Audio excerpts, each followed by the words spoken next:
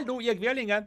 In dieser Episode von Pathfinder Breath of the Righteous gibt es das nächste Date zwischen Jägerin Okori und Graf Deran Arende, leider im Abyss, und auch noch einige weitere aufschlussreiche Gespräche. Los geht's!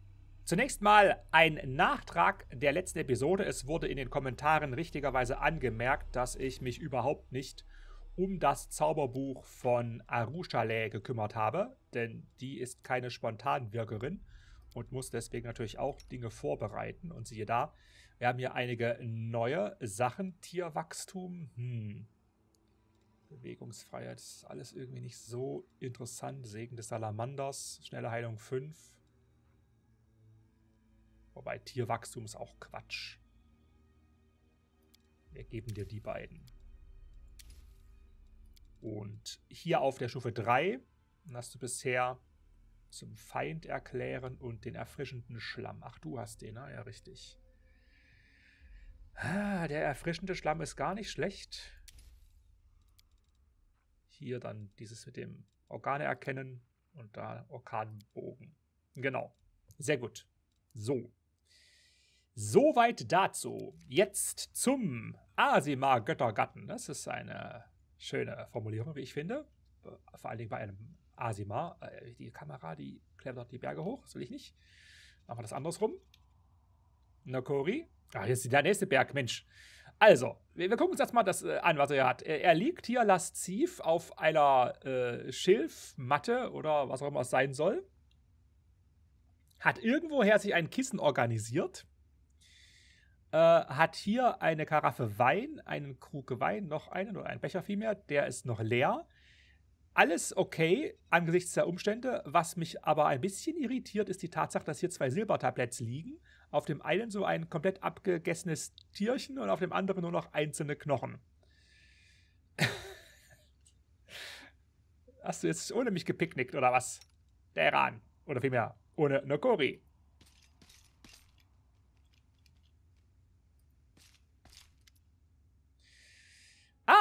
Fürst Feldspat, es freut mich, euch zu sehen. Warum die steinerne Mine? Ihr seid doch sonst ein solcher Fels in der Brandung des Lebens. Meine liebe Prinzessin Peridotte, ihr seht hinreißend aus. Beinahe ist es euch gelungen, das Debüt der Gräfin Petronella im letzten Jahr zu übertreffen. Gewichtiger seid ihr jedoch ganz gewiss. Das ist sehr, sehr schwer zu übersehen. Deran sitzt in einem Kreis aus Steinen und betreibt mit vollkommen ernster Miene Konversation. Als er dich bemerkt, erhebt er sich und hält dir die Hand hin. Und da ist auch schon das Treffen mit Deran abgeschlossen. Oh, es gibt aber viel Erfahrung. Meine sehr verehrten Damen und Herren, darf ich euch meine hübsche Gefährtin vorstellen? Hier ist sie, das Kronjuwel des Abends, Nukuri, die Heldin des Kreuzzugs. Naja, er versucht aus den gegebenen miserablen Umständen das Beste zu machen. Und eine Azata-chaotische Nokuri geht darauf natürlich ein. Fürst Feldspat, Prinzessin Peridotte, wie steht es um euer Befinden? Und Deran, ich kann mich immer auf euch verlassen, Nokuri. Deran zwinkert dir zu. Er blickt auf seinen gesellschaftlichen Empfang aus Steinen. Das Leben hat uns in letzter Zeit kaum entzückt. Im Gegenteil, es hat uns in die dunkelste aller Ebenen geworfen, uns mit Horden widerwärtiger Dämonen umgeben und uns in einen Kampf zwischen Mächten gezerrt, die wir, zumindest ich, nicht verstehen. Wenn dem so ist, dann ist dem so. Gut. Aber wenn das Leben uns jeden Spaß raubt, müssen wir uns unseren eigenen Spaß schaffen. Na, ist nicht ganz falsch. Ein erfolgreicher Wahrnehmungswurf. Ihr wirkt sehr emotional. Ist alles in Ordnung? Alles ist ganz wunderbar. Es hat sich rein gar nichts verändert. Deran grinst. Diese ganze Geschichte war von Anfang an ein klein wenig zu viel. Der Einsatz zu hoch. Die Geheimnisse zu ernst. Ach, und wir stolpern deutlich häufiger über sie, als mir lieb wäre. Was tue ich hier eigentlich? Mich hat die hohe Politik nie interessiert. Und auch Spiele zwischen Mächten, die ich nicht verstehe, nicht. Deran schüttelt sich ein wenig. Seht doch, Fürst Feldspat stimmt mir zu, und er ist ein zäher, stummer Bursche, der nur selten seiner Missbilligung Ausdruck verleiht. Wenn ihr möchtet, kann ich ihn zu einer Abendgesellschaft einladen, wenn wir wieder in Dretzen sind. Möchtet ihr das? Er ist zwar ein kantiger Kerl, aber ein hervorragender Gesprächspartner.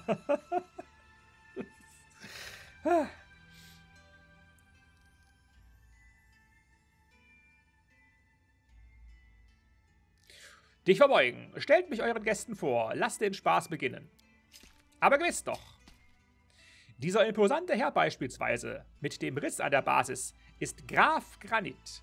Fürst Feldspat hat oben einen Riss. Die Prinzessin ist die größte der Steine. Sie strahlt eine majestätische Gravität aus. Und dort, unter euren Füßen, liegen zwei edle Ritter. Ich nenne sie Sir Flint und Sir Schiefer. Nein, ich kann nicht mehr. Deran bricht ein Gelächter aus. Wisst ihr, was das Lustigste an dieser Situation ist? Diese Steine unterscheiden sich im Grunde nicht sehr von der Hälfte meiner Bekanntschaften in der Haute Volée.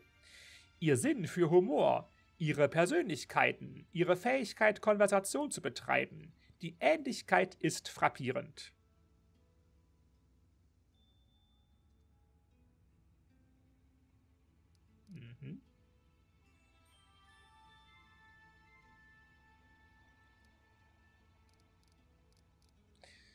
Hm.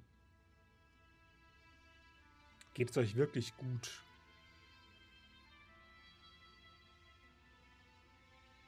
Also eigentlich, so wie der Satz hier steht, hier steht, geht es euch wirklich gut, seit wir im Abyss angekommen sind, also im Abyss, benehmt ihr euch nicht wie ihr selbst. Eigentlich würde ich die Frage so nicht stellen wollen, weil das äh, eigentlich ist Deran immer noch Deran, nach meinem Empfinden. Aber ich deute die Frage mal ein bisschen anders. Wir hatten ja zuletzt ähm, diese seltsame, diesen seltsamen Auftritt von Königin Galfrey. Und da war es ja sehr seltsam, dass Deran überhaupt nichts gesagt hat. Das war diplomatisch wahrscheinlich besser so, aber ich beziehe diese Frage mal auf diesen Aspekt in Sachen letzter Zeit. Wir waren damals zwar noch nicht im Abyss, aber ich lege die Frage mal ein bisschen anders aus. Und aus dem Grund stelle ich sie. Also, Geht es euch auch wirklich gut? Seit wir im Abyss angekommen sind, benehmt ihr euch nicht wie ihr selbst. Und die Antwort. Manchmal habe ich diesen schrecklichen, schleichenden Verdacht, Nokori. Schrecklich und vermutlich auch anmaßend. Mir kommt es fast vor, als würdet ihr euch tatsächlich um mich scheren. Zum Totlachen, nicht wahr?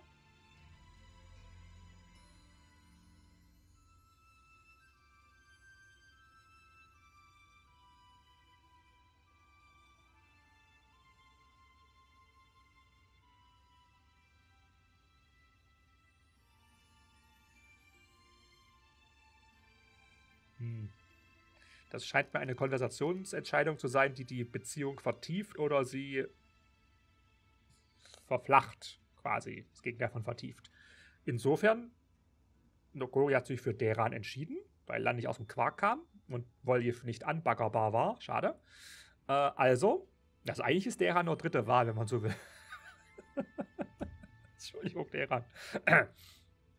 also, dann Option 3 hm, ihr habt mich durchschaut. Ich schere mich tatsächlich um euch. Außer ihr treibt mich gerade mal wieder in den Wahnsinn. Deran grinst diabolisch. Manche Gerichte werden durch ein klein wenig Würze um ein Vielfaches besser. Eine kleine Prise Wahnsinn macht die Emotionen so köstlich intensiv.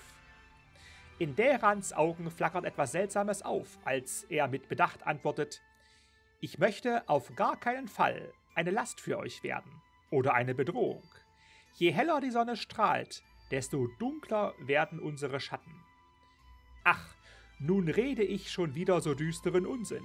Verflucht seien die Dämonen. Lasst uns zu unseren dickköpfigen Gästen zurückkehren. Naja. Nokori weiß von Dingen, von denen Dera nicht weiß, dass Nokori davon weiß. Und in diese Richtung interpretiert sie das ein bisschen. Das heißt, Deran schließt es nicht aus, dass äh, seine, seine, hm, wie nennt man das? Ich nenne es mal Symbiose. Dass seine Symbiose mit diesem anderen zu einer Bedrohung für Dritte werden könnte. Insbesondere Nokori. Ja, okay, ist vermerkt. Aber hier, komm, wir gehen äh, voll rein. Option 2, ihn küssen. Vergessen wir es einfach. Deran erwidert deinen Kuss leidenschaftlich und sagt dann, nachdem er wieder zu Atem gekommen ist, was eine Zeit dauert, ich kann nicht unbedingt sagen, dass ich den Abyss sonderlich inspirierend finde, doch lasst uns ein wenig Zeit allein zusammen verbringen. Ich hoffe wirklich sehr, dass uns keine Dämonen auf den Kopf fallen und unser Rendezvous verderben. So, da vergeht einige Zeit. 17 Stunden und 55 Minuten. Holla. Naja, habt euch Zeit gelassen. okay. Na gut. Jetzt sind wir in dieser Höhle. Hier liegt, ach, das ist unsere Truhe, genau. Ähm, das nutze ich, um gleich mal noch das Gespräch mit Greybore zu führen. Das hatte ich ja in der vorletzten Episode abgebrochen, weil das sah so viel aus. Das hätte da nicht mehr reingepasst. Aber jetzt haben wir noch ein bisschen Zeit. Ich habe ja alle Gefährten. Achso, wir, wir sprechen derer nochmal an. Nicht, dass da jetzt äh, nochmal irgendwas kommt.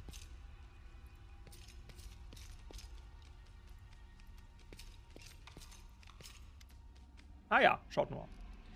Deran wirkt ziemlich abgelenkt. Er starrt ins Leere, als würde er jemandem tief in seinem Inneren zuhören.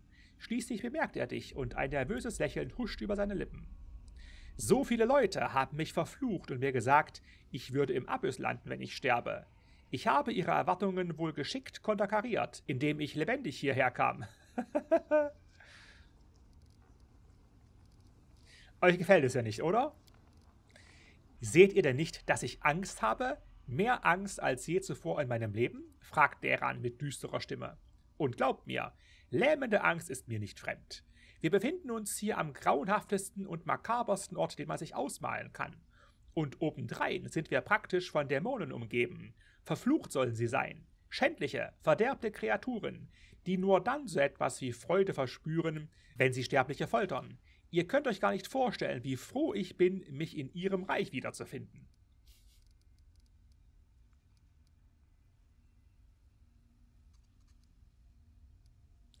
Betrachtet es einfach als eines eurer Abenteuer. Hm. In meiner Welt besteht ein Abenteuer daraus, mich mit einigen Zauberlehrlingen zu betrinken, die gerade die Grundlagen einfacher Teleportationszauber gemeistert haben, und mehrere tausend Meilen entfernt neben jemandem aufzuwachen, den man noch nie gesehen hat, jemandem, der sich vielleicht als varisischer Schwertschlucker oder Drache in Menschengestalt herausstellt. Aber das ich bin noch immer bereit, das Ganze als Abenteuer anzusehen, besonders da ihr hier seid. Ihr müsst für den Säbelschlucker einstehen, den Drachen in Menschengestalt und die Zauberlehrlinge, denen es nicht gelungen ist, die Teleportation zu meistern. Für alle gleichzeitig.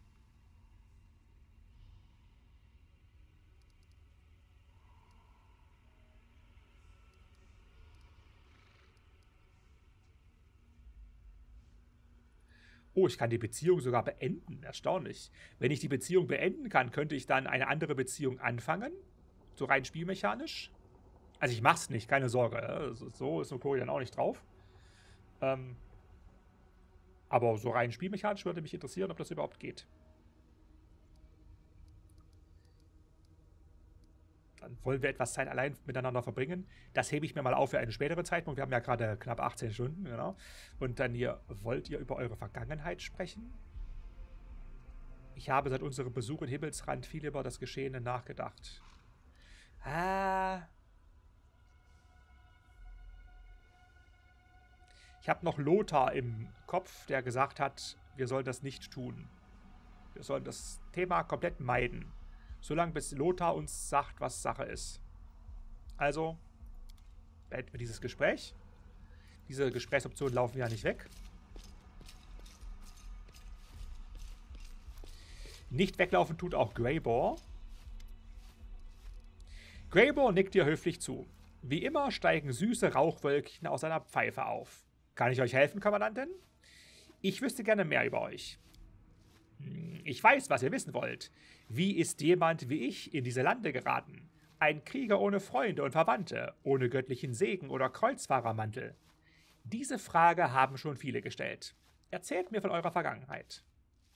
Geboren wurde ich in Dolchenmark, der Stadt der Diebe, Meuchler und Giftmörder. Ich war eine Weile Soldat und habe in der Infanterie unter Jalor Klovesch gedient. Schon bald erkannte ich, dass es zwei Sorten von Dolchmark-Soldaten gibt. Dumme Schläger, die man herumkommandieren muss, und verwegene Kerle, die ihren Beruf als Fassade für bezahlte Morde und Erpressung benutzen. Ihr könnt euch vorstellen, bei welchen ich gelandet bin. Ich kannte die Spielregeln und die Reichen kamen oft zu mir, damit ich ihre Probleme löse oder ihrer Konkurrenz Knüppel zwischen die Beine werfe. Doch dann geriet ich mit einem Offizier in Streit und, nun ja, ich verließ das Militär und machte mich selbstständig. Es stellte sich heraus, dass es außerhalb von Dolchenmark weitaus weniger Spezialisten meines Handwerks gibt. Ein guter Assassine verdient sehr gutes Geld. Ich war beruflich in ganz Avistan tätig, bevor es mich hierher verschlug. Hm.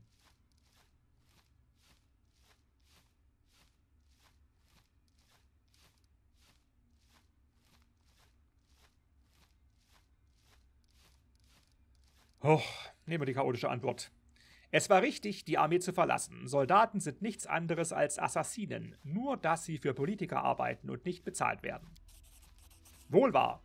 Und in Dolchenmark macht man sich nicht einmal die Mühe, das zu verschleiern. Habt ihr eine Familie? Meine Leute dulden keine Geschäfte mit Assassinen. Ich stamme aus einer Familie ehrbarer Händler und treuer Anhänger von Thorak. Sie hält mich mittlerweile bestimmt für tot. Es würde sie anwidern, wenn sie erführe, was aus mir geworden ist. Der Zwerg wird ernst und seine starken Zähne beißen auf seiner Pfeife, bis sie bricht. Und äh, was meine andere Familie angeht, ja, so eine hatte ich auch. Auf meinen Reisen traf ich eine Frau, schön und freundlich. Für sie legte ich meine Waffen ab, bezog ein Haus und wurde ein einfacher Stadtbewohner. Wir bekamen eine Tochter, Eineinhalb Jahre lebten wir so, bis die Straße mich wieder zu sich rief. Ich liebte sie, aber dieses Leben, als wäre ich lebendig begraben. Ich hätte mich fast selbst entleibt, nur um diese grausame Sinnlosigkeit zu beenden. Nur die Straße konnte mich von derlei Gedanken heilen. Aber aus irgendeinem Grund kehre ich doch immer wieder zu diesem Haus zurück, in dem ich einst wohnte, zu der Frau, die ich einst liebte, zu der Tochter, die ich nicht richtig kenne und die mich nicht kennt. Ich beobachte sie aus der Ferne. Ich habe nicht das Recht, in ihr Leben zurückzukehren. Mora, meine Tochter, ich weiß nicht, was sie für mich ist. Der größte Fehler meines Lebens oder meine größte Hinterlassenschaft für die Welt.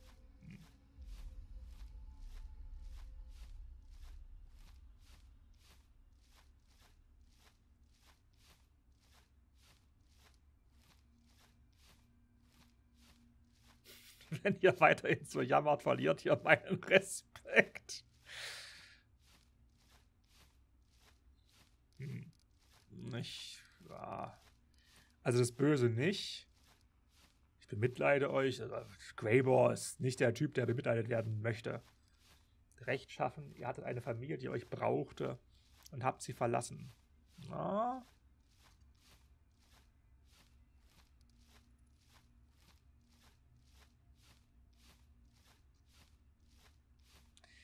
Also ich, ich nehme hier eher die rechtschaffene Antwort. Ja, diese chaotische, aber sie hätte doch mit euch reisen können. Ich meine, er arbeitet als Assassine, da kann man sich nicht seine Familie mitnehmen. Das, ist, das geht nicht. Punkt. Also von allen ähm, Antworten hier nach dem Ausschussprinzip bleibt dann nur die rechtschaffene übrig. Ihr hattet eine Familie, die euch brauchte und habt sie verlassen. Das ist verabscheuungswürdig. Der Kiefer des Zwergs versteift sich und in seinen Augen steht Wut. Ihr habt recht. Ich hätte nicht zulassen sollen, dass ihr mir derlei entreißt. Mhm. Was hat euch zur Weltenwunde geführt? Der Zwerg zuckt die Achseln. Es gibt hier viele gute Aufträge und kaum Konkurrenz. Viele gefährliche Dämonen, von denen jeder jemandes Sohn, Ehefrau oder besten Freund verschlungen hat. Und zu wem kommen sie, um Rache zu üben? Zu den Kreuzfahrern? Die sind an ihre Befehle gebunden und überdies gar nicht fähig dazu. Wer mich anheuert, will nicht auf das Ende des Kreuzzugs warten, falls er jemals endet. Also komme ich ins Spiel. Ich liefere prompte, zielgerichtete Vergeltung gegen eine großzügige Gebühr. Wie lautet eure Meinung über den Kreuzzug? Ich müsste lügen, wenn ich sagte, ich sähe große Unterschiede zwischen mir und den Kreuzfahrern. Die Zeiten sind heute andere als während des ersten Kreuzzugs. Heute sind die Reihen der Kreuzfahrer angefüllt mit Flüchtlingen, Kriegsgewinnern, verbannten Adligen, Glücksjägern und Kerlen, die einfach nur gerne Blut sehen. Und sie alle sollten den Göttern dankbar sein, dass die Weltwunde noch offen ist, denn andernfalls wären sie mit Raub und Mord beschäftigt. Und wenn sie mich auf der Straße träfen, wäre da kein herablassender Blick, sondern sie würden von mir ihren Hut ziehen und mich mit Herr anreden.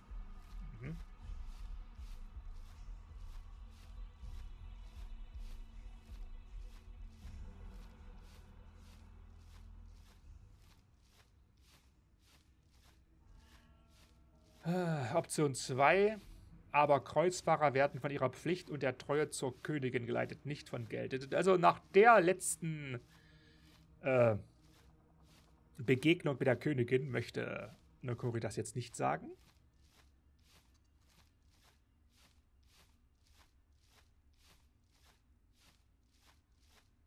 Naja, es ist schon, es ist schon nicht, äh, nicht falsch, dass eine, eine Armee, eine, eine Kreuzfahrerarmee der man ja freiwillig beitritt, vor allen Dingen auch derlei Subjekte anzieht, die mit Gewaltausübung äh, kein Problem haben oder sich daran sogar ergötzen und erfreuen. Das ist schon nicht falsch.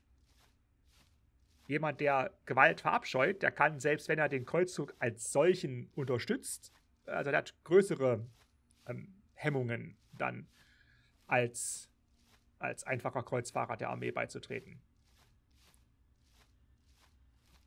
Also diesen Gedanken kann Nokori schon irgendwie nachvollziehen. Und der lässt mich hier die gute Antwort auch irgendwie schon fast ausschließen. Wagt es nicht, Kreuzfahrer mit Verbrechern zu vergleichen. Hm. Böse ist aber auch irgendwie komisch. Die Option 4 ist es.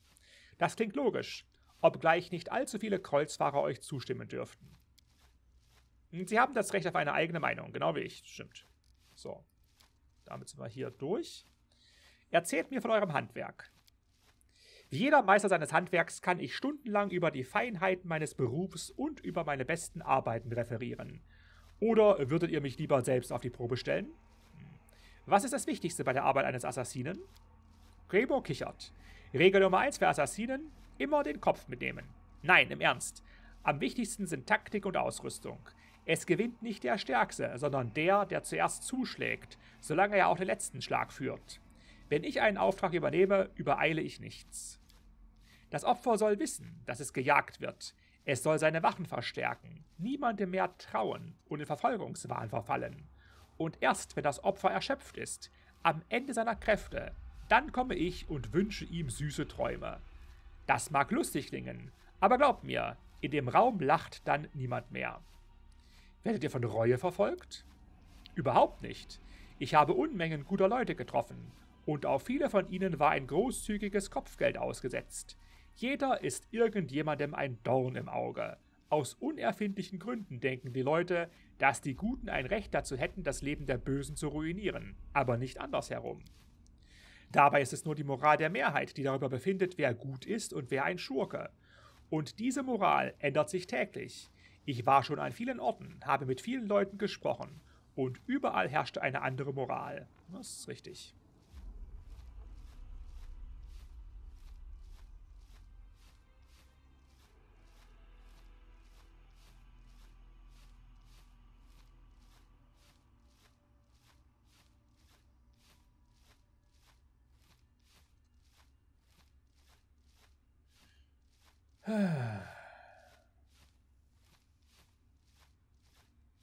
Antworten gefallen mir alle nicht. Für Gold zu töten ist furchtbar, wir können ja nachts noch schlafen. Ritterkommandant Nokori schickt Leute, also Truppen für Sold in den Kampf, und zwar nicht nur gegen Dämonen, sondern auch gegen Kultisten. Also irgendwie passt das nicht. Eure Worte sind wahr, bis dahin könnte ich gehen. Selbstanklagen sind etwas für Schwächlinge und Feiglinge. Das sehe ich ganz anders eigene Fehler zu thematisieren, ist ein Zeichen von Stärke und nicht von Schwäche. Wahre Schwächlinge suchen äh, Fehler für ihre, in ihrem eigenen Leben immer nur bei anderen. Also es passt nicht. Rechtschaffen. Ähm, Lords, Richter und Priester sollten Todesstrafen verhängen, nicht ihr. Das, das passt nicht. Das ist zu. Das würde vielleicht ein Paladin sagen, aber eine Kuri nicht. Klammer auf, mehr Klammer zu. Chaotisch. Manche Leute müssen einfach sterben. Je früher, je besser. Ich bin sicher, ihr habt deutlich mehr Abschaum getötet als brave Leute. Er hat ja eigentlich eher das Gegenteil gesagt. Das, das passt alles nicht. Also wohl wahr. Greybor nickt, zufrieden mit deiner ruhigen Reaktion auf seine Worte. Gut. Anders als viele haltet ihr mir keine Predigt, wie schrecklich mein Handwerk doch sei. Ja. Euer Ansehen bedeutet euch sicher viel. Greybor nickt würdevoll. Natürlich. In meinem Beruf ist Ansehen alles. Es hält die Narren auf Distanz, die auf einen Kampf aus sind. Und die richtigen Leute wissen, dass ich vertrauenswürdig bin. Wem nichts an seinem Ansehen liegt, der ist nicht besser als ein froschfressender Kobold. Mit solchem Gesindel kann man keine Geschäfte machen. Sie taugen nur dazu, dass man sie für einen Auftrag benutzt und danach beseitigt. Ich hingegen, ein Profi von Rang und Namen, verlange Respekt von meinen Kunden. Erzählt mir von eurem besten Mord. Der schwierigste war ein Professor des Maschinendoms in Absalom. Schon die Existenz dieses Magiermechanikers war ein Geheimnis, und fast niemand kannte sein Gesicht oder seinen Namen. Ihn zur Schrecke zu bringen, war eine Sinfonie aus Gewalt und Kalkül. Ich musste durch seinen geheimen unterirdischen Palast schleichen, der aussah wie eine Aufziehpuppe, die von einem Psychopathen zusammengebaut worden war. Kein klarer Verstand hätte derart raffinierte Fallen ersinnen können. Und überall waren mechanische Säbelspinnen.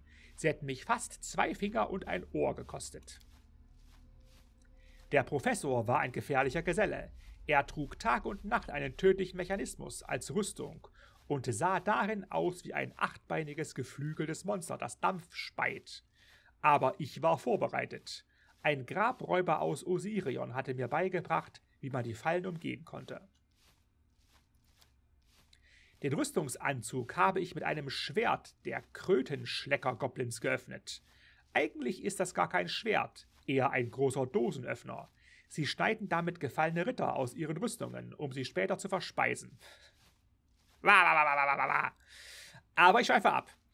Ich öffnete also seine Rüstung und sah seine wahre Form. Fragt mich nicht, was es war. Ich kann nur sagen, es war höchst unerwartet.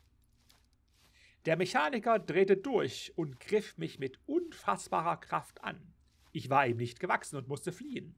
Der Narr dachte, er hätte gesiegt bis er erkannte, dass ich all seine Fallen zu einer riesigen Todesmaschine umfunktioniert hatte. Zwei Minuten nach meiner Flucht verwandelte sich sein Palast in eine Staubwolke.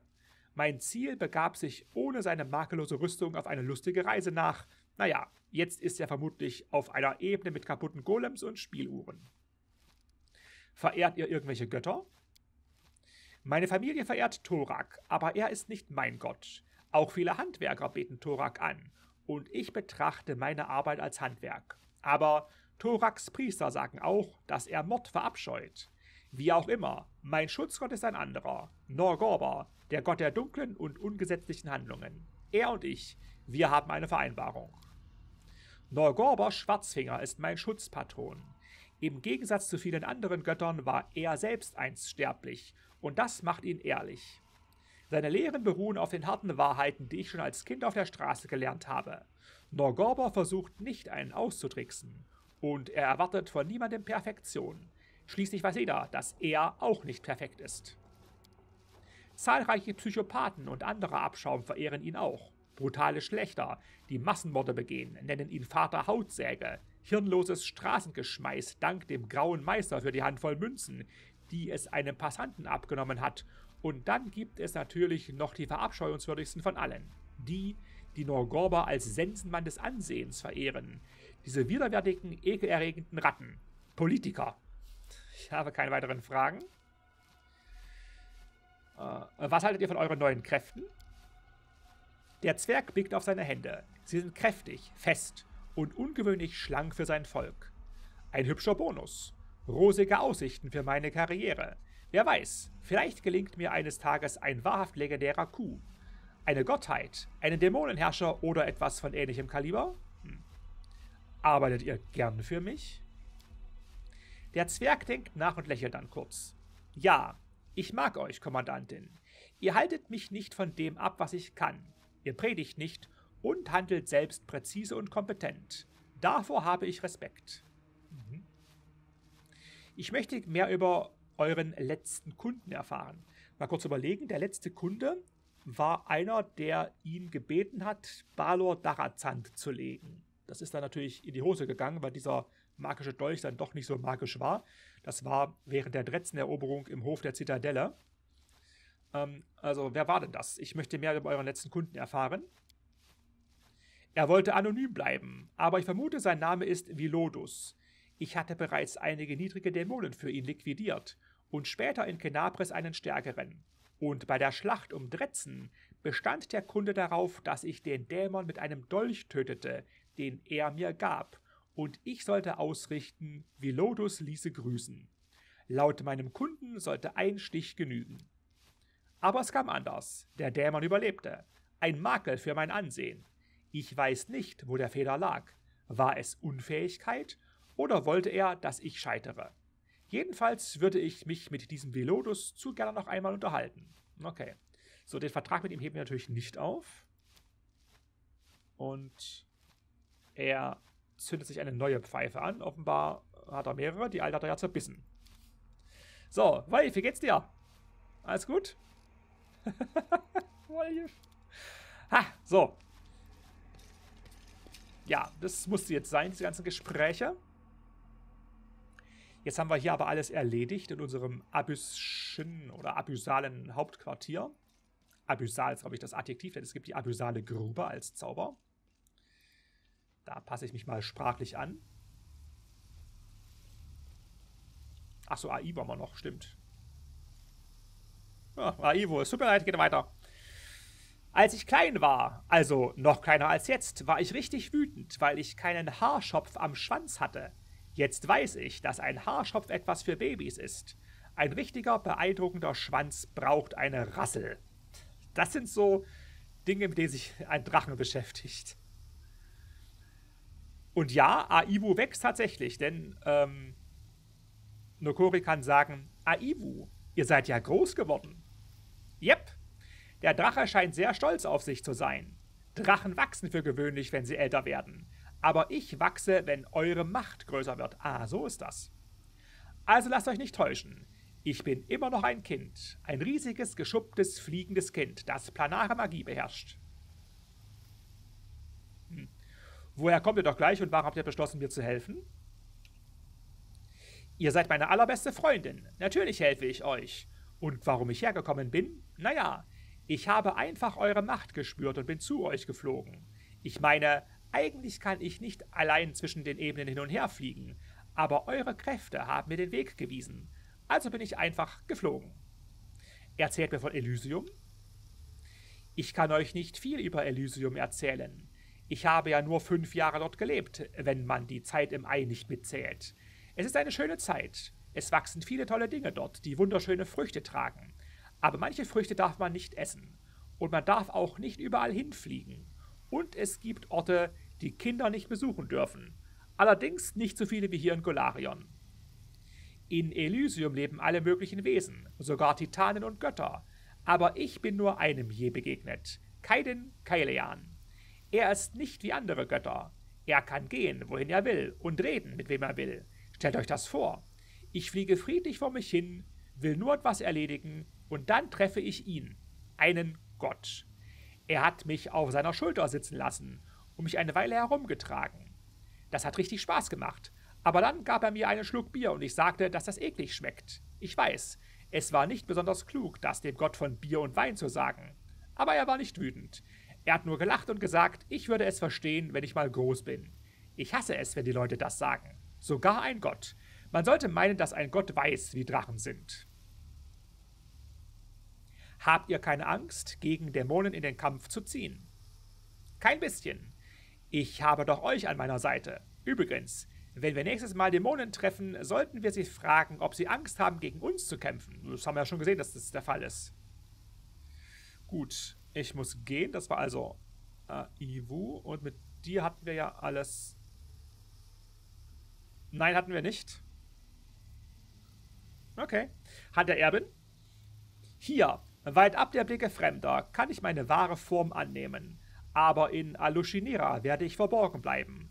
Anscheinend wird dieser traurige und beunruhigende Ort unser neues Zuhause werden. Zumindest für eine gewisse Zeit. Was ist unser nächster Schritt? Wir müssen herausfinden, wer im Moment in Alushinira die Zügel der Macht in der Hand hält. Mit diesem Wissen können wir Hepzamiras Pläne aufdecken und durchkreuzen. Wie bekannt bin ich bei den Einwohnern von Alushinira? Niemand in Alushinira kennt euren Namen. Noch nicht. Sagt mir ehrlich, was haltet ihr von der Person, die ihr Streiterin von Golarion nennt? Ich würde lügen, wenn ich sagte, dass ich euch nicht mit einer gewissen Unruhe beobachte. Manchmal frage ich mich, was passieren würde, wenn ihr ins Wanken gerietet. Macht und Verantwortung sind die schwersten Prüfungen von allen, und schon viele rechtschaffene Seelen sind dabei gescheitert. Ich habe eine Frage zu unserer Mission. Nur zu. Ähm, was könnt ihr mir über den Abyss und Dämonen im Allgemeinen sagen? Dämonen. Die Hand der Erbin spricht langsam und bemüht, als versuche er, einen inneren Widerstand zu überwinden. Sie sind das jüngste Volk der äußeren Ebenen und das wildeste, was ihren Ursprung angeht. Einst beherrschten völlig andere Kreaturen den Abyss, die Olipot, die Verkörperungen des Chaos. Sie waren deutlich weniger menschenähnlich. Doch dann gebar eine Wesenheit die Idee, das urzeitliche Chaos mit einer bösen sterblichen Seele zu vermischen, und so entstand der erste Dämon. Heute erinnert sich niemand mehr an den Namen dieses Schöpfers, aber seine Schöpfungen leben noch und gedeihen. Sie stürzten die Olipot und wurden die Essenz, die Seele des Abyss. Und ich kann wirklich nicht sagen, was schlimmer ist, die Zeit vor der Beimengung des Menschen oder jetzt. Was wisst ihr über Olushinira? Das Chaos hat viele Gesichter. Sein Entschluss, sich in Form einer Stadt zu manifestieren, war die Geburt von Alushinira. Es gibt Orte im Abyss, die dunkler, blutiger, gefährlicher und trügerischer sind. Aber ich wüsste keinen, der bedeutender wäre als Alushinira. Als Nocticula die Stadt erbaute, fügte sie jeden Aspekt der Essenz hinzu, der jemals im Abyss existiert hatte. Dämonen aller Art aus jeder Ecke dieser düsteren Ebene leben dort und zudem hat die Dame im Schatten die Tore der Stadt auch Besuchern von anderen Ebenen geöffnet, sodass man überall auf Fremde trifft. Händler und Reisende, Söldner und Entdecker, Magier und Barden, Wesen von allen Ebenen, die den Mut hatten, den Abyss zu besuchen, wählten Alushinira als ihr Ziel. Die Stadt wird durch zwei Mauern geteilt, zwischen denen die Viertel liegen, die Fremden offen stehen. Eine Mauer schützt Nocticulas Gäste vor dem Abschaum und den Armen, die verzweifelt genug sind, für eine Münze oder zwei die Befehle ihrer Herrscherin zu missachten. Die andere Mauer schützt die Fremden vor dem Adel der Stadt, der Nocticulas Empfehlungen grundlos und aus einer Laune heraus missachten kann. Aber ihr dürft nicht denken, dass es in ganz Aluginera auch nur einen sicheren Ort gibt, denn die Gefahr lauert dort hinter jeder Ecke. Erzählt mir mehr über Nocticula. Die Dame im Schatten, oberster der Sukubi und wahrscheinlich der gefährlichste Dämon, den der Abyss je hervorgebracht hat. Ich kann euch nicht viel über sie sagen, denn sie verbirgt sich erfolgreich im Schatten, entgeht den Dolchen ihrer Gegner und den Intrigen ihrer Rivalen. Ich weiß nur, dass sie ihre Macht erhielt, als sie Vyriavaxus stürzte, den Herrscher der Schattendämonen. Sie stahl seine Kräfte, sein Reich und seine Untertanen, und das alles regte lediglich ihren Appetit an. Viele Dämonenherrscher sind seitdem untergegangen, niedergestreckt durch ihre hinterhältigen und plötzlichen Angriffe, und mit jedem gefallenen Feind wuchsen ihre Macht und ihr Ruhm.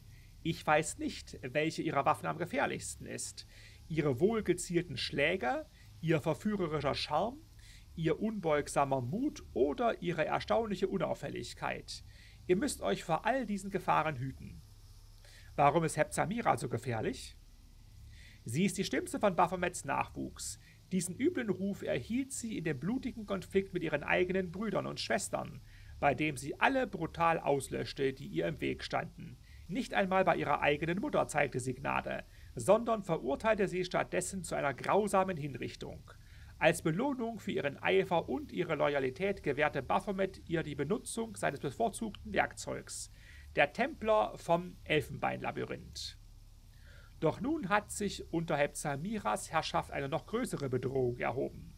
ungewöhnlich mächtige Dämonen, bei denen wir den Ursprung ihrer Kräfte nicht kennen, was höchst gefährlich für uns ist. Die Kreuzfahrer sind bislang nur selten auf solche Dämonen gestoßen, aber sollte eine ganze Armee dieser Unholte auftauchen, würde Dretzen fallen, gefolgt von Nerosian und schließlich ganz Avestan. Und selbst Golarion hätte keine Chance gegen sie. Hepzamiras Umtrieben ein Ende zu setzen. So lautet unsere Mission. Wie ich sehe, habt ihr die Felsen dieser Höhle gesegnet? In der Tat, das habe ich. Wenn der schändliche Einfluss des Abyss schon auf Golarions Sterbliche verunsichert und ihre Ruhe stört, wie wird das dann erst im Abyss selbst sein, dem Herzen von Leid und Sünde? Aber keine Sorge, Streiterin. Dank der mir von Iomedae verliehenen Kraft habe ich diese dunklen Höhlen geweiht. Hier findet ihr Erholung und könnt wieder zu Kräften kommen, falls erforderlich. Mhm. Persönliche Frage. Zwischen uns sollte es keine Geheimnisse geben, Streiterin. Im selben Moment, als Königin Galfrey euch an diesen dunklen Ort schickte, schwor ich mir selbst, alles in meiner Macht Stehende zu tun, um eure Bürde zu erleichtern. Warum seid ihr mir in den Abyss gefolgt? Weil meine Pflicht und meine Ehre es verlangten. Euch standen eine wichtige Mission und eine enorme Herausforderung bevor, wohingegen jenen, die zurückblieben, nur die Ehre zukam, das zu beschützen, was ihr bereits von den Dämonenhorden befreit hattet. Mein Herz sagte mir, dass meine Hilfe hier mehr gebraucht würde. Was ist das für ein Gefühl, an einem Ort wie diesem zu sein? Dies ist nicht mein erster Vorstoß in den Abyss, obgleich ich bisher nur hier war, um zu kämpfen, und nicht wie diesmal, um zu beobachten und Gespräche zu führen. Mehr als einmal sind ich und andere Krieger des Himmels zu diesem bösen und verderbten Ort herabgestiegen um an Übeltätern Vergeltung zu üben und ihren Opfern Erlösung zu bringen. Es ist nämlich so, dass Himmel und Abyss keinen offenen Krieg gegeneinander führen können, wobei ich mich an Momente erinnere, in denen wir unmittelbar davor standen. Erlaubt sind nur Überfälle und kleinere Gefechte entlang der Grenze. Ist ein endgültiger Sieg über die Dämonen überhaupt möglich? Durchaus, aber es wäre nicht die Art von Sieg, die ihr euch vorstellt. Die Hand der Erben schweigt eine Weile und spricht dann mit schwerer, hohler Stimme weiter. Der Abus lebt, solange wie das Böse in den Herzen der Sterblichen lebt. Dämonen erscheinen nicht aus dem Nichts. Die meisten haben ihren Ursprung in den Seelen von Personen, die sich schon zu Lebzeiten dem Bösen verschrieben haben. Deshalb könnte der Krieg gegen den Abyss, sollte er jemals beginnen, ein Krieg ohne Ende werden. Der Platz jedes gefallenen Dämons würde sofort von einem neuen eingenommen. Darum haben wir erst dann eine echte Chance auf einen endgültigen Sieg, wenn es uns gelingt, alles Böse in der Welt zu vernichten. Wir müssen einen Zustand erreichen, in dem keine einzige Seele freiwillig böse Taten begehen würde. Alle Sterblichen müssen sich auf einmal und aus eigenem Antrieb dem Licht zuwenden. Aber niemand im Universum weiß, wie das bewerkstelligt werden kann. Und viele, die es versucht haben, endeten als Tyrannen und falsche Propheten. Möge der Himmel mich davor bewahren. Was haltet ihr von Galfreys letztem Befehl? Iomedae hat nie die Herrschaft über die Sterblichen angestrebt, sondern sie immer nur angeleitet und unterstützt. Und darum folge ich ihrem Beispiel und versuche, mich nie in euer Leben einzumischen oder es in Frage zu stellen. Ich kann allerdings sagen, dass ich mir der Notwendigkeit unserer Mission ebenso sicher bin wie der Schärfe meiner Klinge. Überrascht und zugegeben auch beunruhigt hat mich allerdings mit welcher Rücksichtslosigkeit meine edle Waffenschwester Gallfrei euch hierher geschickt hat. Die Königin hat natürlich das Recht, ihrer Kommandantin Befehle zu erteilen, aber ein Recht ohne Rechtschaffenheit hat keinen großen Wert. Gibt es etwas, wobei ihr mir behilflich sein könnt?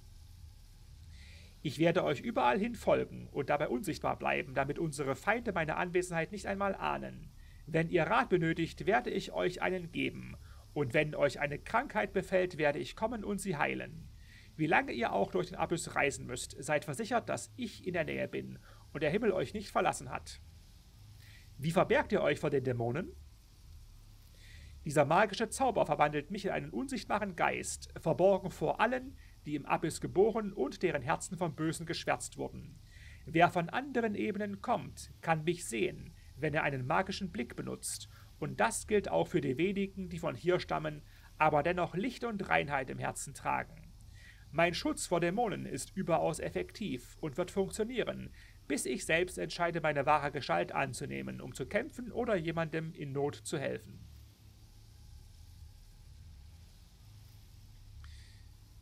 Ich möchte, dass ihr damit aufhört, mir Ratschläge zu geben. Das würde Nokori nicht sagen. Könnt ihr mich heilen? Ja, schon wahrscheinlich, aber das ist ja gerade kein Thema. Hm? Trotzdem. Ah ja, das geht dann einfach so, verstehe. Okay, verstehe. Ja, wir haben jetzt das Problem, dass wir aufgrund der langen... Ne, gar nicht wahr. Wir haben noch die Heilung 1 vom Schädelbärenkuchen noch 5 Stunden lang. Das reicht. Ähm, sonst hätte ich jetzt eine ähm, Rast in Erwägung gezogen. Jetzt mit Arushale und Kononwa checken, da ist jetzt natürlich alles durch. Da haben wir ja die ganzen Gespräche geführt. Genau. So. Ja, es lohnt jetzt nicht noch aufzubrechen. Die Episode ist länger geworden, als ich gedacht hatte. Ich wusste nicht, dass die Gespräche mit Greybrohr, Deran, der Hand der Erbin und äh, Aibo so lange dauern würden. Genau, und das ja war noch nicht aktiviert, richtig. Ja, Blick ins Questbuch. Wir haben das mit Deran erledigt. Wir haben im Moment drei Quests, um die wir uns in diesem Kapitel unbedingt kümmern müssen. Das Kapitel heißt die Mitternachtsinseln. Über Leichen gehen. Das ist eine Audienz mit den Herrschern der Stadt erlangen. Das wird irgendwann von allein passieren. Das muss man, glaube ich, nicht aktiv verfolgen. Die Kunstfreunde zu finden. Mehr über die Oberhäupter von Alushinira in Erfahrung bringen. Also uns in der Stadt umhören. Und die Eroberung von Alushinira. Berühmt werden und Noktikulas Aufmerksamkeit erregen. Naja. Gut, das sind die Hauptquests. Es werden bestimmt noch einige Quests hinzukommen, die wir in Alushinira auftreiben. Ich denke mir, dass wir noch eine Gruppe zusammenstellen und dann losziehen. Damit wir auch direkt viel in der nächsten Episode schaffen. Das Gear habe ich abgedatet in der letzten Episode. Da müssen wir jetzt nichts dran ändern. Wir müssen dringend mal Dinge verkaufen, aber ich denke, in Alushinira werden wir das schaffen. Auch wenn ich rollenspielerisch gesehen natürlich lieber die Sachen verkaufen würde, ähm, äh, also den Kreuzzug. Aber ich muss trotzdem Gewicht abwerfen, geht nicht anders. Wir haben jetzt hier ähm, die Stammgruppe. Und weil wir uns in Abyss bewegen, würde ich mal für einen Moment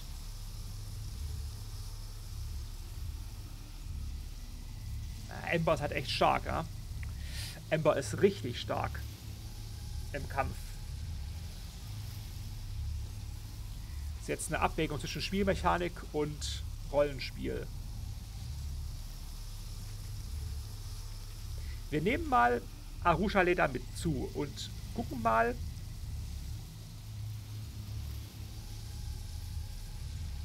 Achso, du hast diesen Heilbuff auch gar nicht, ja? Na gut. Also, wir nehmen Arushale mal dazu und schauen uns mal an, ähm, wie sie sich so im Abyss verhält. Ob sie jetzt eine Hilfe ist oder nicht. Im Kampf halte ich Ember für stärker. Aber Arushale kann ja zeigen, was in ihr steckt. Also, mit dieser Gruppe laufe ich los. Die anderen lasse ich hier, genau. Ja, dann gucken wir mal, wie wir dann vorankommen. Wo wir landen, wissen wir ja schon, in so einer Seitengasse.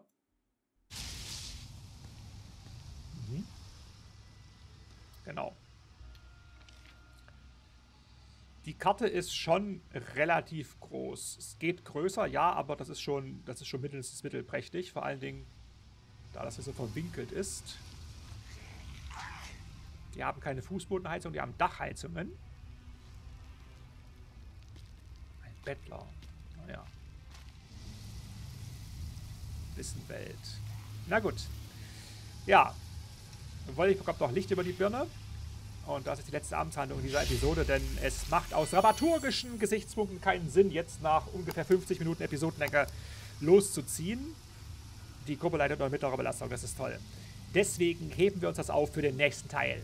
Bis dahin.